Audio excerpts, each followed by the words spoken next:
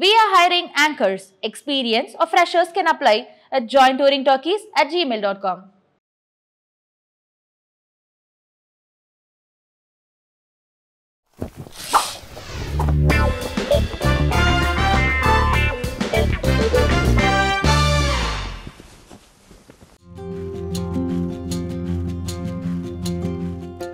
Chai with Chitra. Social talk.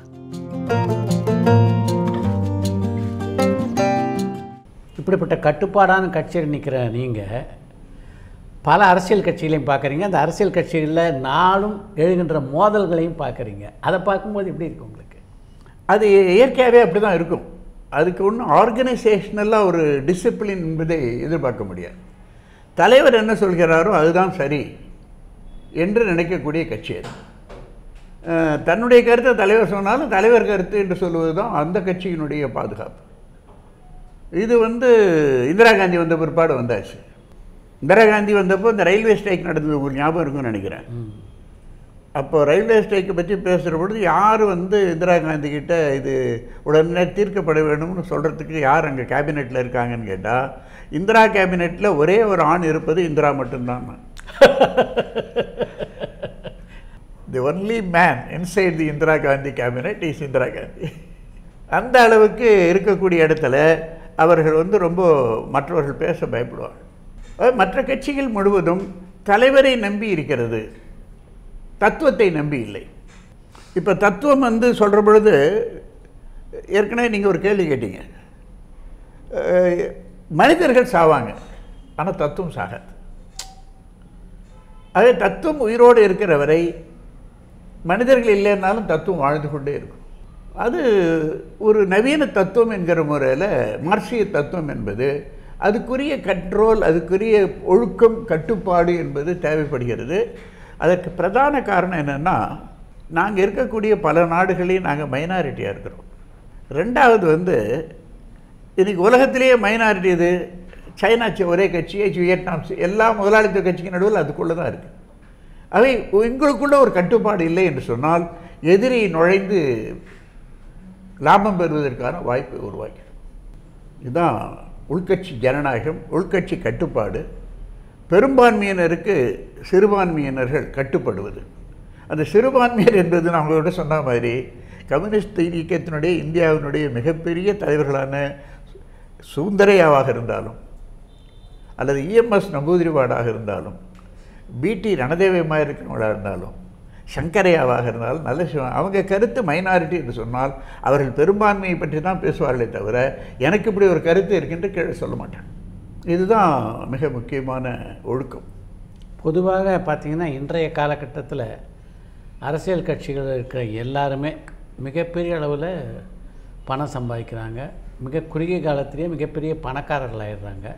ஆனால் communist கட்சியில் தலைவர்களுக்கு வந்து அந்த வாய்ப்பும் கிடையாது அவங்க அதுக்கு ஆசைப்படுறதும் இல்லை. வாய்ப்பு இல்லைன்னு சொல்ல முடியாது. வாய்ப்பு இருந்தால் உடனே சம்பாதிக்கணுங்கிற அவசியம் கிடையாது. கம்யூனிஸ்ட் கட்சிக்குள்ளே ஒரு ஒழுக்கம் இருக்குது இப்போ நான் நாடாளுமன்ற உறுப்பினராக பன்னிரெண்டு வருடம் இருந்தேன். ஏராளமானவர்கள் சட்டமன்ற உறுப்பினர்களாக இருந்திருக்காங்க. ஏராளமானவர்கள் நாடாளுமன்ற உறுப்பினராக இருந்திருக்காங்க இப்பவும் இருக்காங்க. இது பதவி அல்ல எங்களுக்கு.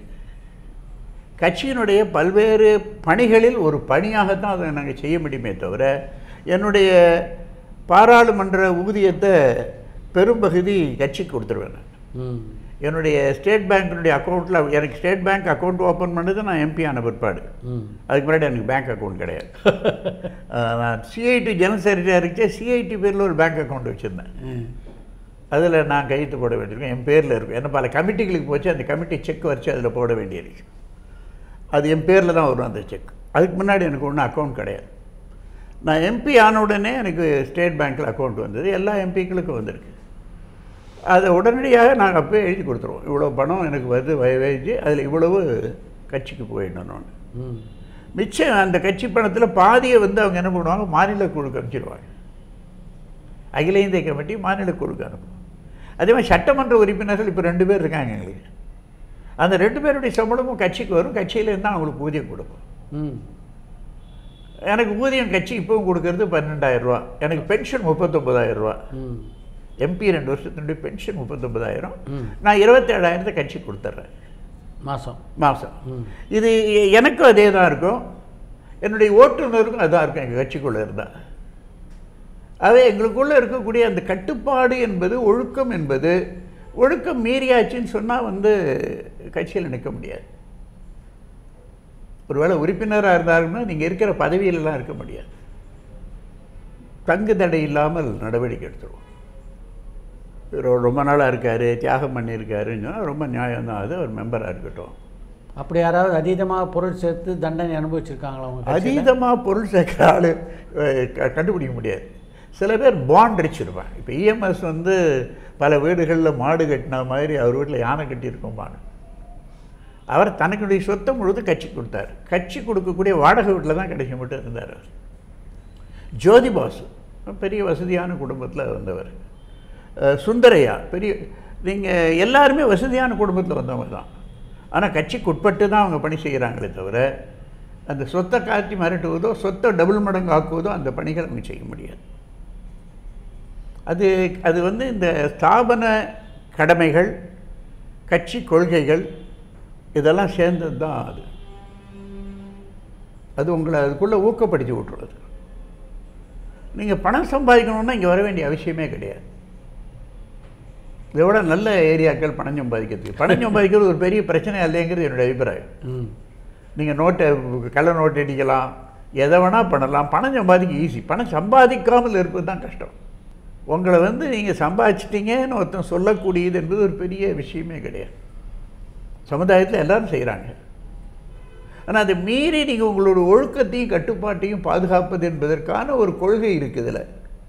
ஸ்தாபன ஏற்பாடுகள் இருக்குது அந்த கட்டுப்பாட்டுக்குள்ளே நீங்கள் செயல்படுறீங்க. அவ்வளோதான் நியாயமாக பணம் சம்பாதிக்க தவறு இல்லையே. நியாயமாக பணம்னு சொன்னால் உங்களுக்கு ஒரு பத்து ஏக்கர் நிலம் இருக்குது அந்த பத்து ஏக்கர் நிலத்தில் வருதுன்னு சொன்னால் அதை நீங்கள் குடும்பத்தில் வச்சுக்கிறதுல தப்பு கிடையாது. கட்சி கொடுக்கணும்னு வச்சுக்கணும் ரொம்ப பேர் என்ன நினைக்கிறாங்க கம்யூனிஸ்ட் கட்சியில் பணக்காரன் இருக்க முடியாதுன்னு நினைக்கிறாங்க. இங்கே எங்கள் கட்சியில் இருந்தும் எல்லாருமே பணக்காரன் தான். மார்க்ஸினுடைய தோழர் ஏங்கல்ஸ் வந்து பெரிய டெக்ஸ்டைல் முதலாளியோட பையன். நிறைய டெக்ஸ்டைல்ஸ் இருந்தது. அவர் சொத்தெல்லாம் தன்னுடைய சகோதரர்களுக்கு பிரித்து கொடுத்து நீ என்ன பண்ணுவேன்னாங்க? நான் ஒரே வாரத்தில் ஷேர் மார்க்கெட் சம்பாதிச்சுடுவேன்னு அதனால் பணம் சம்பாதிப்பதோ பணம் இருப்பதோ உங்களுக்கு சொத்து இருப்பதோ அதெல்லாம் தப்பு கிடையாது. அது யாரும் கட்சி கொடுன்னு சொல்ல மாட்டாங்க. இஎம்எஸ் மாதிரி இருக்கிறவங்க சுந்தரியம்மா இருக்கிறவங்க கட்சி கொடுத்தாங்க.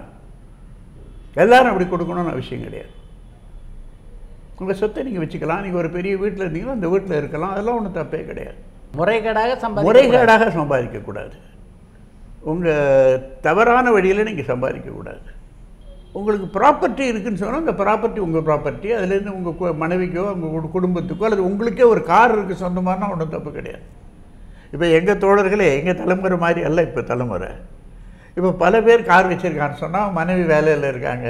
நியாயமான முறையில் தான் கார் வச்சுருக்கான். ஏன்னா அவன் கார் வாங்குறதுக்கு முன்னாடி இந்த மாதிரி வாங்குறேன்னு எழுதி கொடுத்துருவான் கட்சிக்கு. அப்படியா? ஆமாம் ஆமாம் ஓ.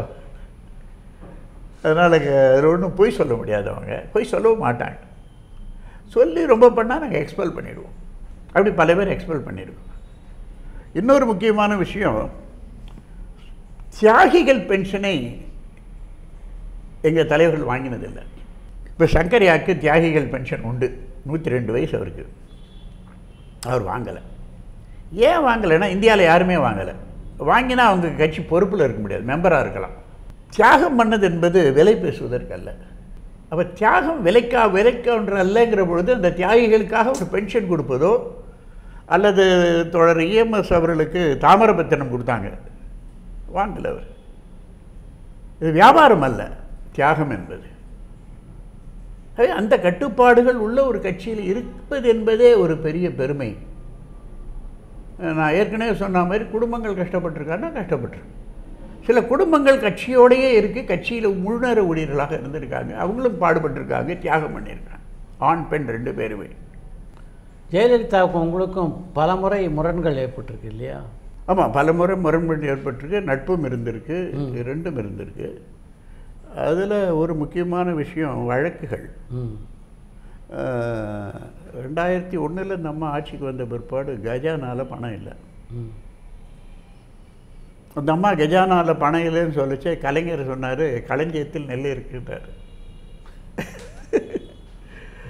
சுத்தமாக பணமே இல்லை. அந்த நேரத்தில் வந்து அவங்க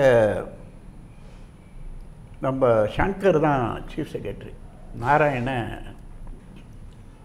finance secretary போக்குவரத்து தொழிலாளிக்கு போனஸ் கொடுக்க முடியல. அரசு ஊழியர் ஆசிரியர்களுக்கு சம்பளம் கொடுக்கறது என்பது ரொம்ப சிரமமாக இருந்துச்சு.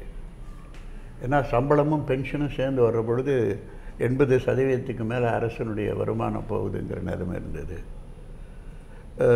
ஏற்கனவே இருந்த கான்ட்ராக்டர்கள் அவங்கெல்லாம் பணம் கொடுக்காமே போயிட்டாங்க அவங்க போன டிஎம்கே கவர்மெண்ட்டு இதெல்லாம் நிர்பந்தப்படுத்தக்கூடிய ஒரு சூழ்நிலையில் தான் ரெண்டாயிரத்தி ஒன்று ரெண்டு மூணுலலாம் ஜெயலலிதா கவர்மெண்ட் இருந்தது. அப்போது வந்து அரசு ஊழியர்கள் திருவல்லிக்கேணியில் கோயிலுக்கு பக்கத்தில் பார்சாதி கோயிலுக்கு பக்கத்தில் ஒரு ஆஃபீஸ் வாங்கினாங்க. எங்கள் சங்கம் அது. நாங்கள் தலைமையில் வழிகாட்டுதலில் இருக்கிற சங்கம். எங்கள் கட்சிக்காரங்க இல்லை கட்சி இல்லாதவங்க நிறைய பேர் அதில் இருக்காங்க. ஜெயலலிதா முதலமைச்சரை வச்சு அதை திறக்கணும் அப்போ தான் பெருமையாக இருக்கும்னு சொன்னாங்க. அப்போ என்கிட்ட சொன்ன பொழுது நான் சொன்னேன் தயவுசெய்து வேண்டாம். அது அந்த அம்மா திறக்க மாட்டேன்னு சொல்லும். அது வந்து உதவியாக இருக்காதுன்னு சொன்னேன். திருப்பி திருப்பி ரெண்டு மூணு தடவை சொன்ன பிற்பாடு அவங்கக்கிட்ட போய் கேட்டேன் ஆஃபீஸில் இந்த மாதிரி ஆஃபீஸ் இருக்குது திருவல்லிக்கண்ணியில் நீ கொஞ்சம் திறந்தால் பரவாயில்லன்னு நினைக்கிறேன். முடியவே முடியாதுன்னுட்டாங்க சொன்னாங்களா? என்னால் முடியாது எனக்கு காலைல ஒம்பது மணிக்கெல்லாம் நான் ஆஃபீஸ்க்கு வரணும். வரவே முடியாதுன்னாங்க நான் சொல்லிட்டேன் வர முடியாது இல்லை இல்லை இன்னொரு வாட்டி போய் கேளுன்னாங்க திருப்பி போய் கேட்டேன். நான் சொன்னேன் நீங்கள் நேராக வாங்க வீட்டிலேருந்து வர வழி தான் அது. கத்திரிக்கோலை போட்டு கட் பண்ணிவிட்டு நீங்கள் உடனே வண்டி ஏறி வந்துடுங்க உங்கள் பேர் அந்த ஆஃபீஸில் இருக்கணும்னு ஆசைப்பட்றாங்க. கரெக்டாக அந்த அம்மா வந்தாங்க. சாயந்தரமே பிடபிள்யூடியில் கொட்டாயெல்லாம் போட்டான். பேசுறதுக்கு மைக்கெல்லாம் கொண்டு வந்து வச்சுட்டான். இவங்க வந்தாங்க வந்தவுடனே எங்க ரங்கராஜன்னு கேட்டாங்க. எனக்கு தெரியும். ஏதாவது நடக்க போகுதோ என்னவோ தான் பயம்தான் எனக்கு அந்த அம்மா கூப்பிட்றதில்ல கலைஞர் கூப்பிட்றது அப்படி இல்லை. கலைஞர் இடத்துக்கு தகுந்த மாதிரி பேசி கரெக்டாக பேசிட்டு போயிடுவார். உங்களை சிக்கலில் விட மாட்டார் அவர். இந்த அம்மா போய் கதவை லைட்டை கதவை திறந்து மீன் க கத்திரிக்கோலை போட்டு வெட்டிட்டு உள்ளே போய் குத்துக்குள்ளே கேட்டிட்டு எங்கே ரங்கராஜன்னு திருப்பி கேட்டிருக்கேன் அவர் வா- வெளியிலேயே இருக்கிறார். அப்புறம் வந்தாங்க மேடை ஏறினாங்க. கங்காதரன்னு எங்கள் தலைவர் அப்போ அவர் தான் வந்து முதல்ல வரவேற்பு உரையாற்றினார் அவர் வரவேற்புரை ஆற்றின உடனே அந்த அம்மா என்னை பார்த்து நானும் மேடையிலே இருந்தேன். ரங்கராஜன் நீங்கள் பேசுங்கன்னாரு. அம்மா நான் பேச மாட்டேன். உங்களுக்கு உடனே அர்ஜென்ட் போயாகணும். நீங்களே பேசிட்டு போங்க. ஏன்டா பேசணும்னு ஆகிப்போச்சு தொண்ணூறு சதவீத பணம் உங்களுக்கு போகுது. அந்த திருவல்லிக்கேணி கோயில் பக்கத்தில் இருக்கக்கூடிய அத்தனை தெருக்கடைக்காரங்களும் கும்பல் வந்துடுச்சு அந்த அம்மா வராங்கன்னு உடனே கூட்டம். இவங்களுக்கு இவ்வளோ சம்பளம் அதிகம் அது இதுன்னு எந்த விழாக்கு வந்தாங்களோ அந்த விழாவை ஆர்கனைஸ் பண்ண அத்தனை அரசு ஊழியரை பற்றி விமர்சித்து பேசிட்டு போயிட்டான் நான் நினச்ச மாதிரி நடந்தது. அதுக்கப்புறம் அவங்களுடைய லீவெல்லாம் கட் பண்ண ஆரம்பித்தாங்க அதுக்கு பிறகு ரெண்டாயிரத்தி ரெண்டுலலாம் போராட்டங்கள் வந்துடுச்சு அந்த அம்மாவை ரெண்டாயிரத்தி மூணு ஜூன் வாக்கில் பென்ஷன் எல்லாம் கட் பண்ண ஆரம்பித்தாங்க இப்போ போராடிக்கிட்டு இருக்காங்க இல்லையா? அது அந்த அம்மா தான் துவக்கிச்சு தமிழ்நாடு முழுதும் ஸ்ட்ரைக் பன்னெண்டு லட்சம் பேர் ஆசிரியர் அரசு ஊழியர் வேலை நிறுத்தம். கடுமையான வேலை நிறுத்தம். ஒரு ரெண்டாயிரத்தி ஐநூறு மூவாயிரம் பேருக்கு மேலே ஆண்கள் பெண்கள் எல்லாம் தயவு தாட்சியம் இல்லாமல் போலீஸ் விட்டு அடிக்கிறது ஜெயிலில் போகிறது எல்லாம் பண்ணாங்க டெஸ்மான் ஒரு தமிழ்நாடு மெயின்டெனன்ஸ் ஆக்டில் எல்லாரையும் டிஸ்மிஸ் பண்ணிட்டாங்க. இந்தியாவிலே இல்லை. இந்தியாவில் அப்படி ஒன்று நடந்ததாக வரலாறே கிடையாது. இவங்க வெள்ளக்காரன் காலத்தில் கூட அது நடக்கலை. ஒரு அதிகார வர்க்கம் என்பது உழைப்பாளி மக்களை எப்படி நடத்தும் என்பதற்கான ஒரு உதாரணமாக நம்மளுடைய செய்கை இருந்தது. அதை எதிர்த்து ஹைகோர்ட்டுக்கு போனோம். எல்லா அமைப்புகளும் போச்சு. ஐஎன்டியூ சிஐடியூசி சிஐடியூ எல்லாருமே போனோம். ஆஹ் அந்த அம்மா சுப்ரீம் கோர்ட்டுக்கு போயிடுச்சு. சுப்ரீம் கோர்ட்டுக்கு எல்லோரும் போனோம். சுப்ரீம் கோர்ட்டில் அந்த ஜட்ஜ்மெண்ட் நீங்கள் பார்த்தீங்கன்னு சொன்னால் T K Rangarajan versus Tamil Nadu தான் judgment T K Rangarajan and others தமிழ்நாடுனா இருக்கும் சுப்ரீம் கோர்ட்டில் என்னுடைய எனக்காக வாதாடியவர்கள் என்கிட்ட பணம் வாங்க மாட்டேன்ட்டாங்க. மற்ற அமைப்புகள் நிர பேர் நிராகரிச்சிட்டாங்க ஜட்ஜி ஏன்னா அவங்கெல்லாம் ஏஐடியூசி எல்ஏ எல்பிஎஃப் அந்த சங்கத்தின் பேரில் வந்தாங்க. அவங்க பாதிக்கலை அந்தம்மா உன்னுடைய சட்டத்தில். நான் வந்து போக்குவரத்து தொழிலாளி சங்கத்தினுடைய துணைத் தலைவராக இருந்தேன் அப்புறம். அது இந்த டெஸ்மாவில் பாதிக்கிறது. ஆகவே நான் அஃபெக்டட் பார்ட்டிங்கிற முறையில் போனதுனால என் கேஸ் எடுத்துட்டாங்க. அது வந்து எல்லாரையும் வேலைக்கு எடுக்க சொல்லிட்டாங்க. ரஜீவ் தவான் என்கிற பெரிய அட்வொகேட் தான். இப்போ சீனியர் அட்வொகேட் அவர் அவர் தான் எனக்காக ஆர்கியூ பண்ணார். பி சிதம்பரம் ஆர்கியூ பண்ணார். ரெண்டு பேருமே ஆர்கியூ பண்ணாங்க. பி சிதம்பரம் ஒரு அவருக்கே இருக்கக்கூடிய இன்ட்ரெஸ்ட்டில் ஆர்கியூ பண்ணார். நான் என்கேஜ் பண்ணவர் ராஜீவ் தவான். எனக்கு எல்லா ஹெல்ப்பும் பண்ணதுங்கிறது வைகை பி ராமமூர்த்தியோட டாக்டர் அவர் சீனியர் அட்வொகேட் அதே மாதிரி ராவன் ரெட்டி தமிழ்நாட்டிலேயே மிகப்பெரிய லா firm அது. விஜி ராவ்னு ஒரு பாரட்லா ரெட்டி ஒரு பாரட்லா அவங்களாம் பாரட்லா அந்த காலத்தில் ஆரம்பி சுதந்திரத்துக்கு முன்னாடியே ஆரம்பித்த பெரிய லா அதில் இப்போ வந்து எம்ஜிஆர் பிரசாதுங்கிறவர் தான் எண்பத்தஞ்சு வயசு அவர் இருக்கார். அவர் எங்களுக்காக வந்தார். அவர் பிரதானமாக வைகை அதில் பெரிய ரோல் ப்ளே பண்ணாங்க. அதில் கடைசியாக சுப்ரீம் கோர்ட்டு எல்லோரும் வேலைக்கு எடுக்க சொல்லிடுச்சு அந்த அரெஸ்ட் பண்ண ரெண்டாயிரத்தி முந்நூறு பேர் என்னென்ன விசாரிச்சு எடுத்தால் போதும் பாக்கி பேர் எடுத்துட்டாங்க. இது ஒரு மிகப்பெரிய வெற்றி. இதுக்கு நடுவில் அந்த அம்மாவோட இது சமரசமாக பேச முடியுமாங்கிற முயற்சி எடுத்து பார்த்தேன் நான். ம். அவங்க சமரசத்துக்கு தயாராக இல்லை. இதுக்கு நடுவில் புதுசாக வேலைக்கு ஆள் எடுத்துட்டாங்க. ம். அரசாங்கம் நடக்கணும்ல. எப்படிப்பட்ட ஒரு ஒரு முதலாளித்துவ அரசுன்னு நாங்கள் சொல்கிற பொழுது அது எப்படி தாக்கு பிடிக்காத மக்கள் கோவப்படுற பொழுது அது எப்படி தாக்கும் என்பதற்கான ஒரு பெரிய உதாரணம் இந்தியாவிலே அதுதான். இன்றைக்கி நீங்கள் பார்த்தீங்கன்னா ஃப்ரான்ஸில் ஸ்ட்ரைக் நடக்குது. பிரிட்டனில் ஸ்ட்ரைக் நடக்குது. இன்றைக்கி அமெரிக்காவில் ஸ்ட்ரைக்குன்னு வருது.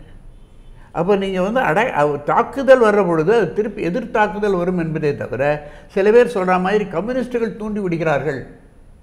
கம்யூனிஸ்டுகள் தூண்டி விட வேண்டிய அவசியமே கிடையாது. அவர்கள் தாக்கப்படுகிற பொழுது நாங்கள் போய் பாதுகாப்பு கம்யூனிஸ்ட்டுகள் போகிறோமே தவிர அது அணையாமல் இருப்பதற்கு தூண்டி விடுகிறோம்னு வேணால் சொல்லலாமே தவிர வழக்க. தாக்குதல் என்பது ஆளும் வர்க்கமும் அரசாங்கமும் தான் செய்கிறது என்கிற உண்மையை தமிழ்நாடு முழுதும் நிரூபிப்பதற்கான ஒரு வாய்ப்பு அதில் கிடைச்சிது. அதே மாதிரி மூணு நாலு வருஷத்துக்கு முன்னாடி நினைக்கிறேன் நீட்டில் வந்து என்ன பண்ணிட்டாங்க? தமிழில் கேள்வி தமிழில் பதில். ஆங்கிலத்திலையும் இருக்கும் தமிழ்லையும் இருக்கும். நாற்பத்தெட்டு கேள்விகளுக்கு தமிழ் மொழிபெயர்ப்பு தப்பு. ஓ. நாற்பத்தெட்டு கேள்விகளுக்கு தமிழ் மொழிபெயர்ப்பு தப்புன்ன உடனே ஒரு கேள்விக்கு நீங்கள் தப்பாக எழுதினா ரெண்டு மார்க் குறைஞ்சிரும் நல்லா எழுதின மார்க்கில் ரெண்டு மார்க் குறையும். கரெக்ட் இவங்களே நாற்பத்தெட்டும் தப்பாக பதில் சொல்லிட்டா மாணவர் என்ன பண்ணுவார்? அதுக்கு நான் சுப்ரீம் கோர்ட்டு மட்டும் போனேன். ஹைகோர்ட்டில் ஜெயிச்சிட்டேன். மதுரை ஹைகோர்ட் வந்து நியாயம்னு சொல்லி எல்லாருக்கும் பாஸ் போட சொல்லிடுச்சு. சுப்ரீம் கோர்ட்டு இந்த நீட் பிரச்சனையில் அரசாங்கத்து பக்கம் நிற்குது என்னுடைய வாதங்களெல்லாம் முடிச்ச பிற்பாடு எம்ஜிஆர் பிரசாத் தான் வாதம் பண்ணார். என்னை பொறுத்த மட்டும் பல கேஸுகளில் நான் பார்க்குறது கேஸ் வெற்றி பெறணுமா வாணாமன்னு பார்க்க மாட்டேன். நம்ம நியாயத்தை நம்ம வழக்கறிஞர் சரியாக சொல்கிறாரா என்பது தான் எனக்கு கவலை. ஏன்னா ஜெயிக்கிறதும் ஜெயிக்காதும் உங்கள் கையில் கிடையாது. கரெக்ட். வாதம் பண்ணுறது தான் உங்கள் கையில் இருக்குது எம்ஜிஆர் பிரசாத் நல்லா ஆர்கியூ பண்ணார். ஆனால் வந்து கடைசியாக ஜட்ஜி என்ன பண்ணிட்டார்? ரெண்டு டிவிஷன் பெஞ்சு. நீங்கள் வந்து அடுத்த வாட்டிலேருந்து ஒழுங்காக பண்ணுங்க நான் உங்களுக்கு இன்ஸ்ட்ரக்ஷன் இந்த பசங்க போனது போனது தான். ஒரே நாளில் சார் இந்த கேஸ் போட்டு ஹைகோர்ட்டில் சுப்ர மதுரை ஹைகோர்ட்டில் ஜெயிச்ச உடனே ஒரே நாளில் ஒரு ரெண்டாயிரம் ஃபோன் வந்தது எனக்கு. நன்றி சொல்லி. பா இங்கே வாட்ச்மேனு இங்கே கார் டிரைவர் இந்த மாதிரி குழந்தைகள். கரெக்ட் தானே பாவம். ஒரு அரசாங்கம் பண்ணுற தப்புனால ஒரு மாணவனுடைய வாலிபனுடைய ஆயிரக்கணக்கான வாலிபனுடைய வாழ்க்கையே பாதிக்கிறது என்பதை பற்றி மத்திய அரசு கவலைப்படலை. இப்படி அதை இதை அம்பலப்படுத்த தான் முடிஞ்சதே தவிர நம்மளால் அந்த குழந்தைங்களை காப்பாற்ற முடியல. அது எத்தனை பேர் திருப்பி நீட் எழுதிச்சு எப்போ எத்தனை பேர் டாக்டர் ஆகியிருக்காங்கன்னு நமக்கு தெரியாது. ஒரு திருப்பூர்லேயோ இங்கேயோ வேலை செய்யக்கூடிய ஒரு வாட்ச்மேனுடைய பொண்ணு. அது ஃபெய் நாற்பத்தெட்டு கேள்வியில் ஃபெயில் ஆகுது இந்த மாதிரி திரு திருவண்ணாமலையிலேருந்து ஒரு ரெண்டு மூணு பேர். இந்த மாதிரி பாதிக்கப்பட்ட மக்களுக்கு குரல் கொடுக்கிற பொழுது நமக்கு ஒரு மன திருப்தி ஏற்படுது. அதில் நியாயம் வழங்கப்படலை இந்த நீதிமன்றம்ங்கிற பொழுது நீதிமன்றத்தின் மீது நம்முடைய பார்வையும் மாறிக்கிட்டே.